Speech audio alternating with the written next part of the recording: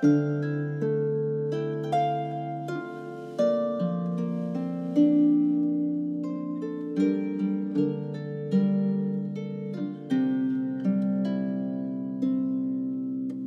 story of St. Patrick. St. Patrick was born in Britain in the 4th century. As a teenager, he was kidnapped and sold into slavery in Ireland.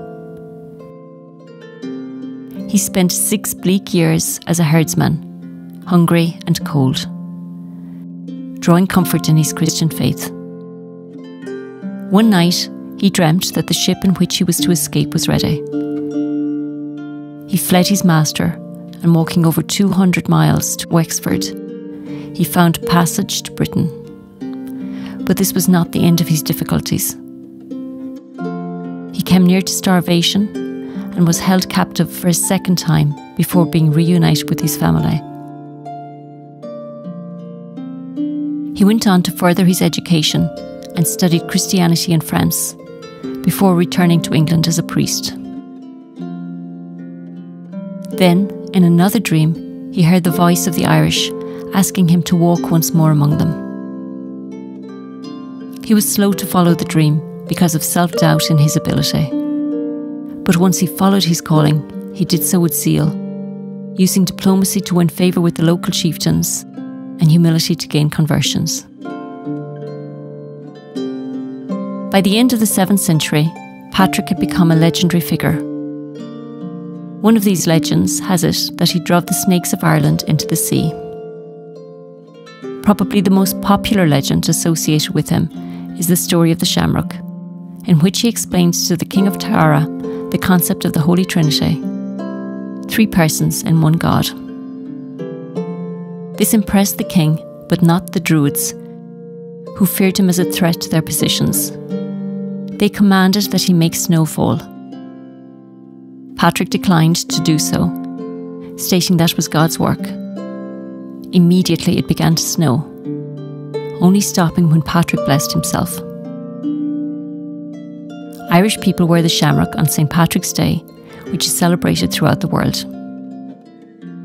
Patrick died on March 17th in the year 461 at the age of 76.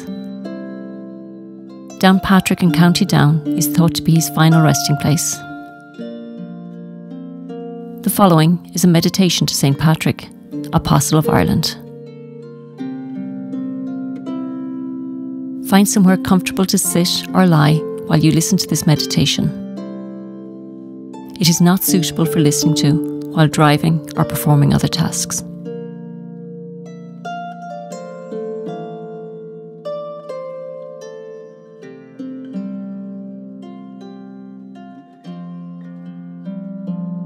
Meditation to St. Patrick.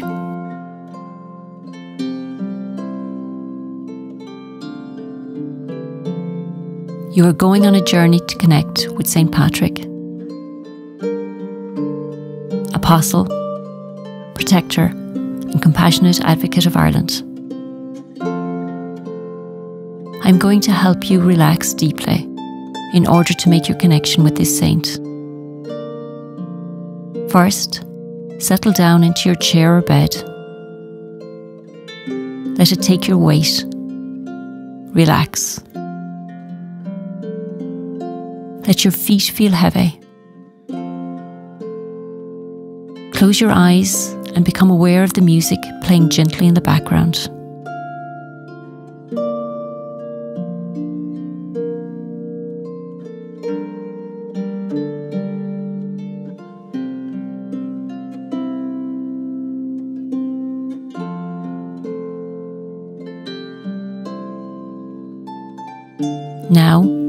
Become aware of your breath, not trying to change it, just bringing your awareness to the breath. Scan your body from your head to your feet for any tension.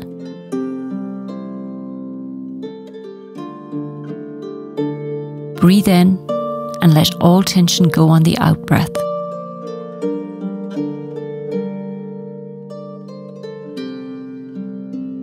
Again, breathe in and let all tension go on the out breath.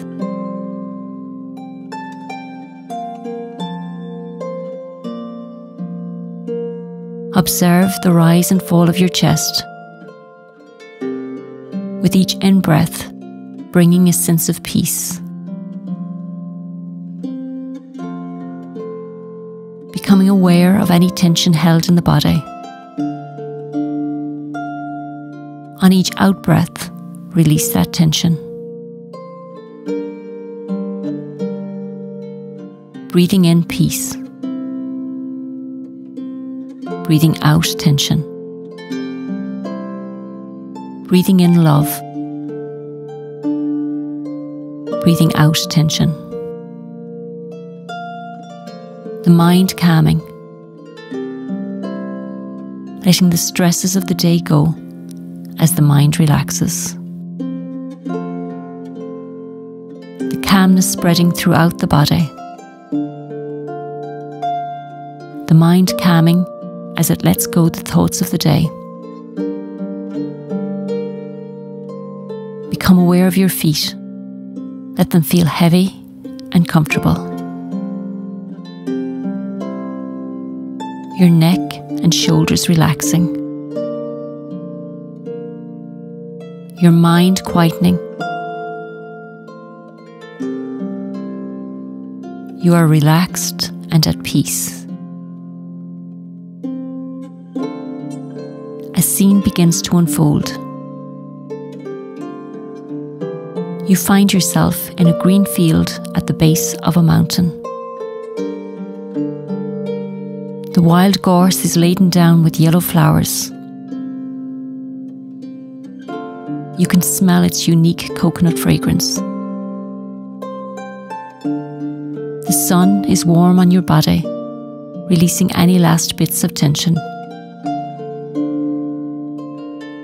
your eyelids getting heavier and heavier.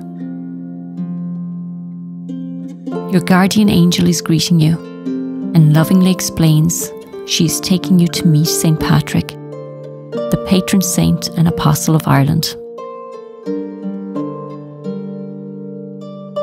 She hands you a walking stick and indicates for you to commence your journey. First, you are walking along the grassy path the incline here is gentle. You can hear the lark singing. In front and behind, you can see others silently making the same pilgrimage.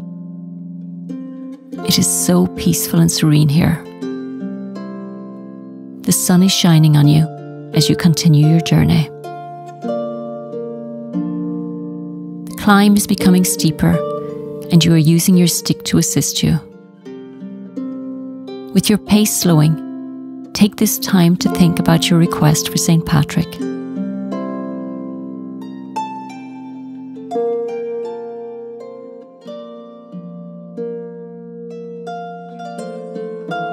The angel is again by your side and reassures you that you only have to walk as far as you are able to. The angels will carry you the rest of the way. You have reached the summit of Patrick. You can see a little church and you make your way towards it. Though it is cooler on the summit, the golden sun is shining and reflecting on the windows of the little church. Inside, you are being greeted by a young teenage boy. He is barefoot with old ragged clothing he has the most beautiful smile. Being met by a boy has surprised and confused you for a moment. But then you realise this barefooted youth is none other than St. Patrick. He invites you to enter and sit with him. In your mind's eye, you can see glimpses of his childhood, kidnapped from his home and sold into slavery in a foreign land, often hungry and cold, and forced to mind pigs.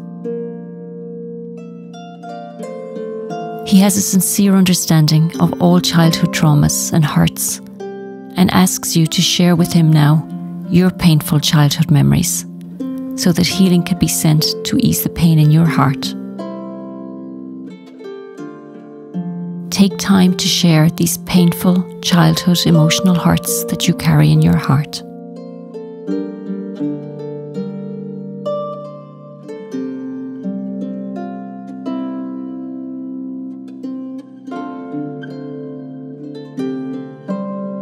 He is pointing towards the large crucifix which is hanging above the church altar.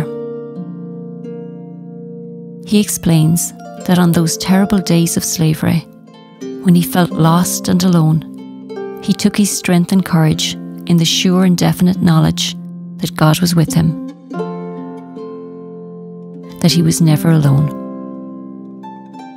He talks of his faith in the Trinity. He reminds you that you are also never alone and can always call on the Trinity for assistance. He invites you now to do just that to call on God for assistance for whatever difficulty you are facing in your current life. Tell Him now of your special request.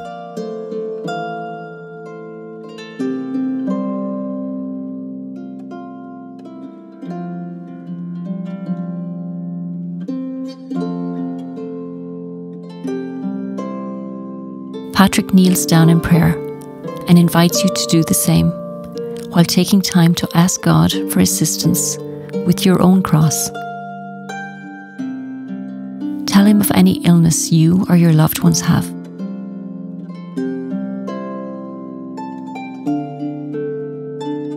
Of the pains you carry in your heart.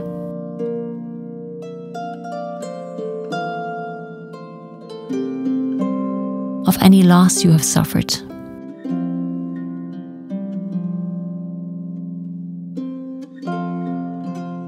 Patrick is credited with driving the snakes out of Ireland. Tell him of your demons and ask him that they be taken from you.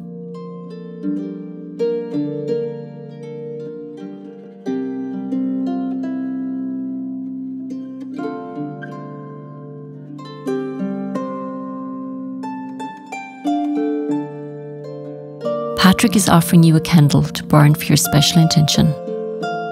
Take time now to reconfirm your special request.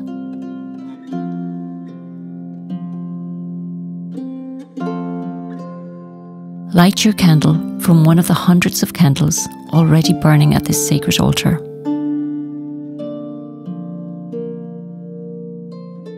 Patrick's time in slavery resulted in Christianity being brought to Ireland. He encourages you to see the positive outcomes that have come as a result of some of the painful events in your life.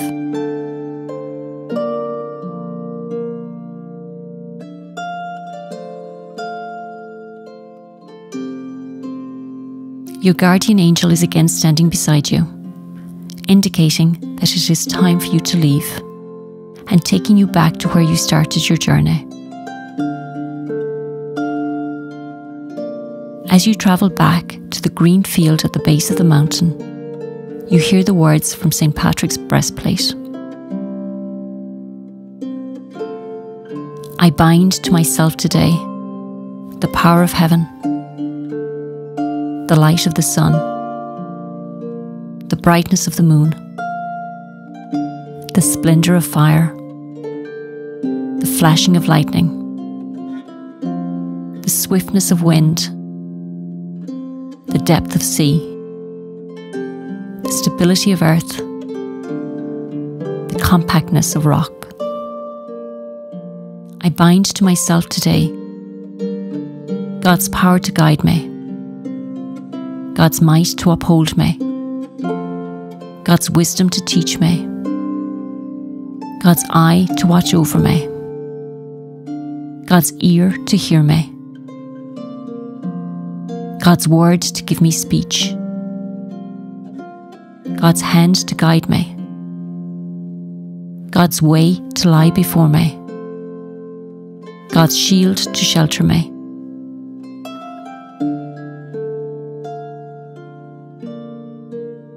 And now you find yourself back in the safety of your own surroundings. You're opening your eyes, feeling safe and positive. Take a few moments to relax and to reconnect with your surroundings. Allow yourself to stretch and return to the waking world. Stronger and at peace.